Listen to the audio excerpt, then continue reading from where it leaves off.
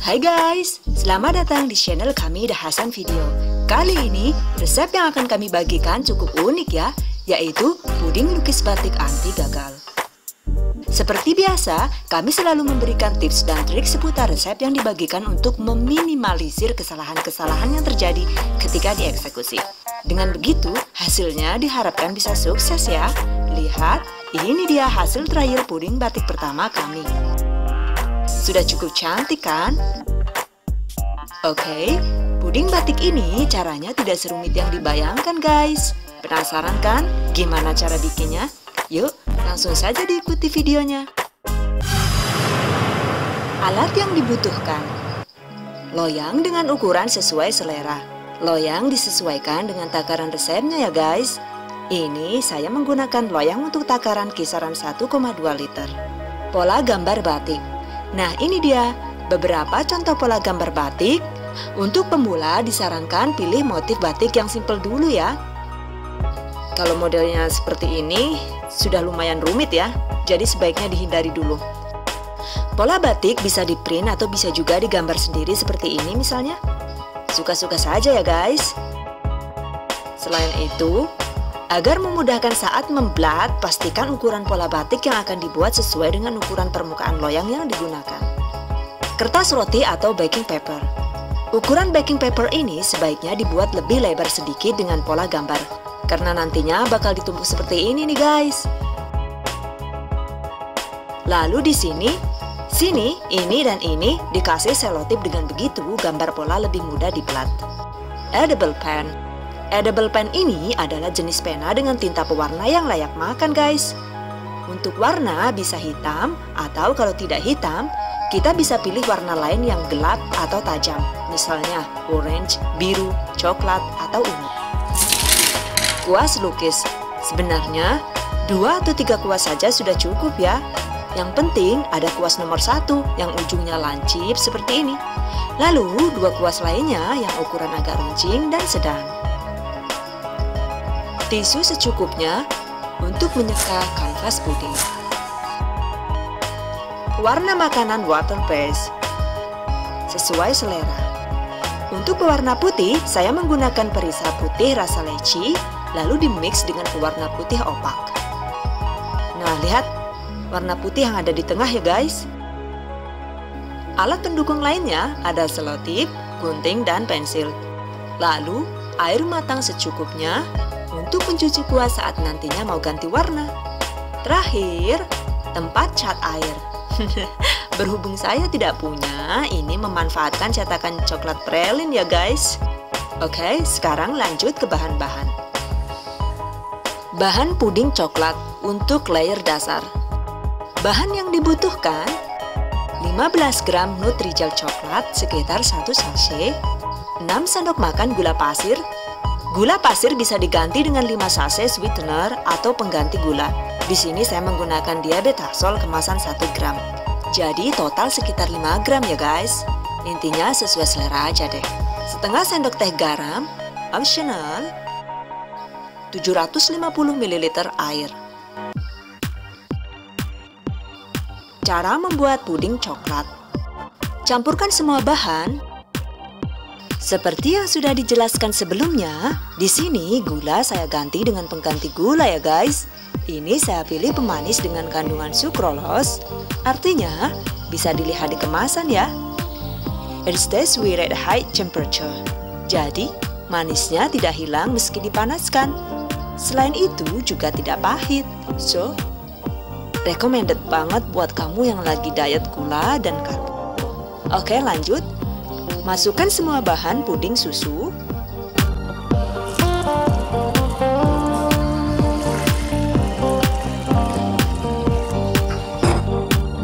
Sekarang setelah semua bahan masuk, rebus dengan api kecil sambil diaduk-aduk sampai mendidih guys.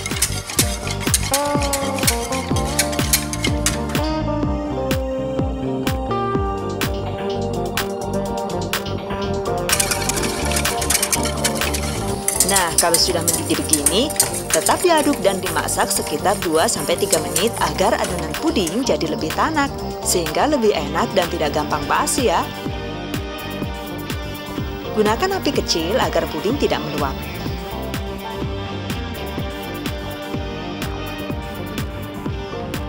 Sekarang matikan api. Tetap diaduk-aduk agar buih berkurang, lalu biarkan dulu sebentar sampai uap panas hilang.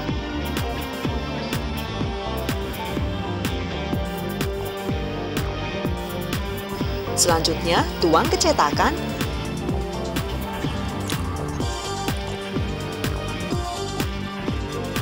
Tunggu sampai dingin. Sambil menunggu dingin, sekarang kita buat adonan puding susu untuk layar atasnya. Bahan puding susu untuk layar atas.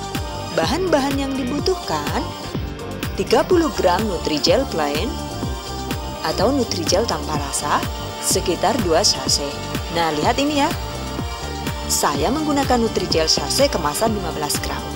Untuk Nutrijel ini harus tanpa rasa ya guys. Jadi tidak disarankan diganti dengan yang berperisa. 4 sendok makan gula pasir. Gula pasir bisa diganti dengan 3 sachet sweetener atau pengganti gula. Sama seperti tadi, saya menggunakan diabetasol kemasan 1 gram. Jadi total sekitar 3 gram ya guys, sesuai selera saja. Setengah sendok teh garam. Optional. 500 ml susu segar kemasan, Cara membuat puding susu. Campur semua bahan.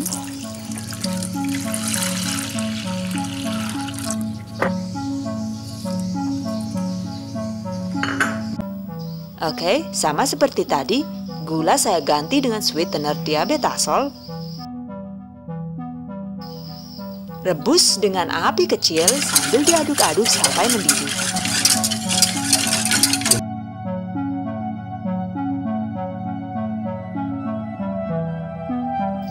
Kalau untuk puding susu ini, begitu mendidih langsung matikan api.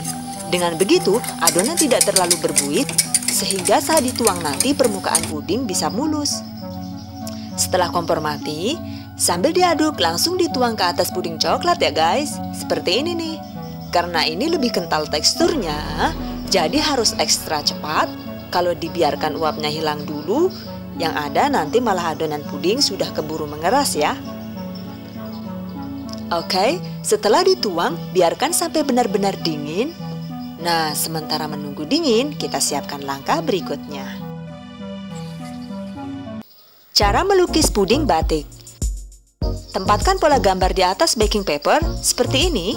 Jadi, pola gambar batik dibalik, lalu diletakkan di atas baking paper. Agar tidak bergeser, kunci dengan selotip di tiap ujung kertas pola. Oke, seperti ini hasilnya. Lalu pinggirannya ditandai dengan pensil ya guys, agar nantinya lebih mudah saat menggunting baking paper supaya sesuai dengan ukuran loyang. Selanjutnya kertas kita balik. Nah, kelihatan pola gambar batiknya kan? Artinya sekarang sudah siap di plat. Blat atau jiplak gambar menggunakan edible pen dengan warna gelap. Ikuti semua bagian garis pada gambar pola ya guys. Jangan sampai ada garis yang terlewatkan. Atau, kalau gambarnya mau dimodif sesuai sikon atau selera juga tidak masalah ya. It's up to you.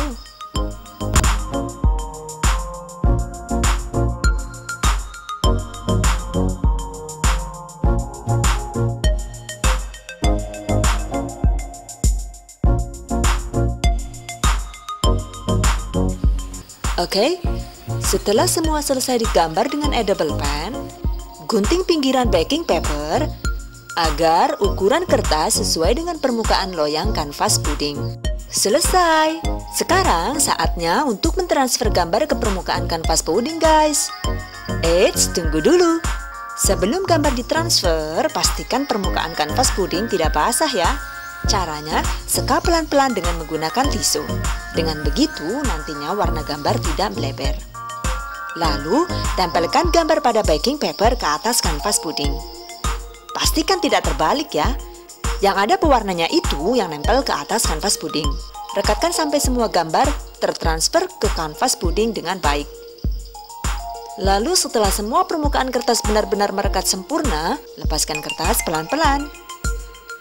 Tada!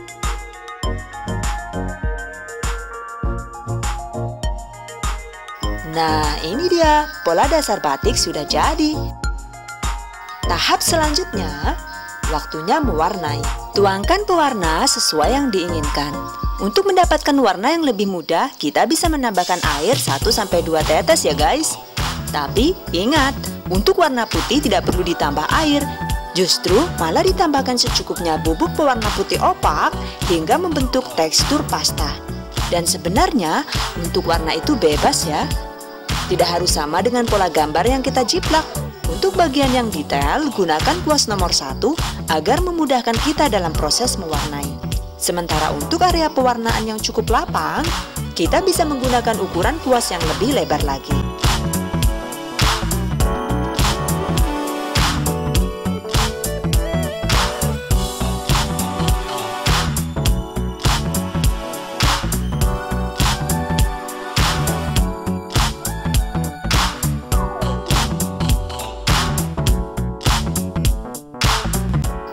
Bagian dasar terlebih dahulu, baru kemudian lanjut ke bagian motif yang lebih detail.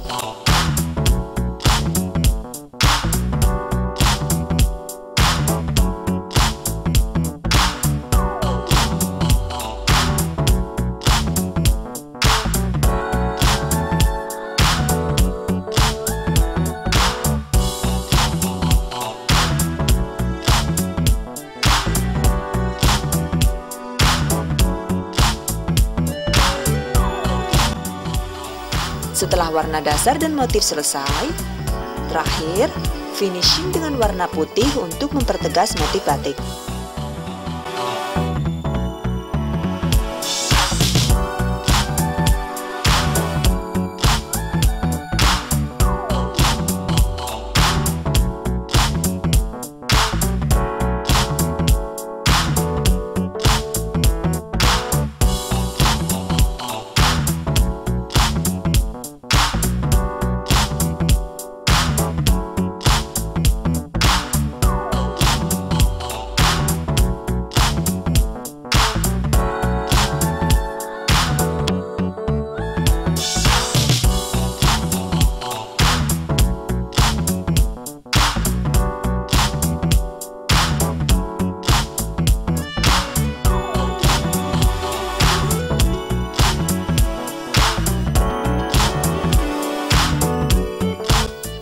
Ya.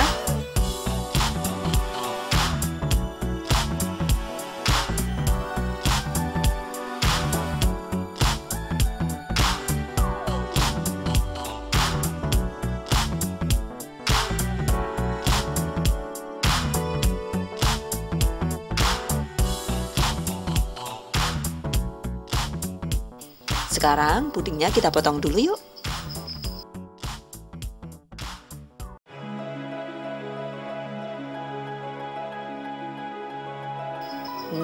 Nah, ini dia.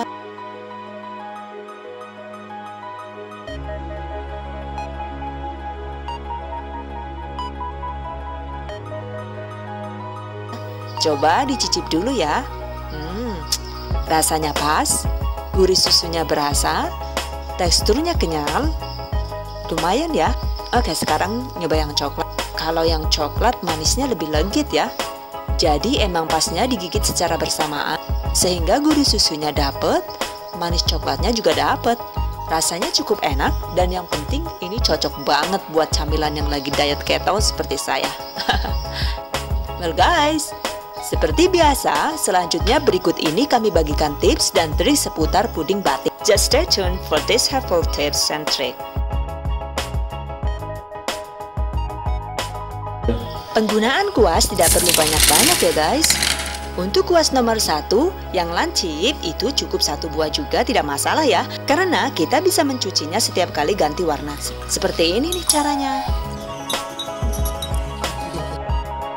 Saat membuat puding susu untuk layar atas, sebaiknya Nutrijel yang digunakan benar-benar jeli bubuk ya guys. Jangan pernah diganti atau ditambahkan dengan bubuk agar-agar. Karena pernah nih, sekali saya coba mix dengan bubuk agar-agar. Hasilnya jadi berbui guys. Lihat nih, begini hasil permukaan kanvas puding yang menggunakan agar-agar. Jadinya banyak lubang seperti permukaan bulan saja ya.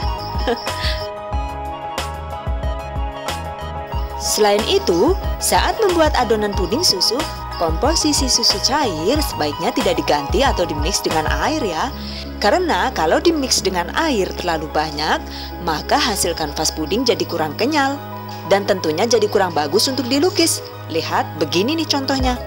Puding jadi fragile dan rawan bleber. Untuk pewarna putih, pastikan adonannya berbentuk pasta agar mudah dipulaskan di atas kanvas puding. Selain itu, hasilnya jadi tegas dan tidak melebar. Nah, bisa dilihat ya, ini contoh warna putih yang kurang kental. Hasilnya, hmm, jadi kurang bagus. Selanjutnya, untuk pembuatan pola, kita juga bisa menggunakan kuas lukis ya guys. Jadi tidak harus menggunakan edible pen. Setelah dipola dengan kuas, cara selanjutnya sama ya. Hanya buat yang amatiran seperti saya, hasilnya jadi kurang rapi ya. Bisa dilihat kan? Yang ini hasil pola batik menggunakan edible pen. Jadi memang lebih tegas dan rapi. Saat diblat ke kanvas juga jadi lebih cantik. Begitu juga saat diwarnai. Hasilnya lebih lumayan kan? Nah, kalau ini penampakan puding susu dengan menggunakan Nutrijel dengan rasa degan atau kelapa muda. Gimana? Bagus kan? Wow, kalau permukaan seperti ini cocoknya dibuat lukisan medan terjal atau pegunungan kali ya guys. Jadi memang penggunaan Nutrijel rasa degan atau kelapa muda itu tidak disarankan ya. Karena walaupun sama-sama berwarna putih, tapi ternyata teksturnya berbeda dengan Nutrijel plain. Kalau yang rasa degan ini, begitu puding mendidih, langsung menggumpal di panci, jadi nggak bisa dituang. So, just don't try it at home. Satu resep ini tidak harus jadi satu loyang ya.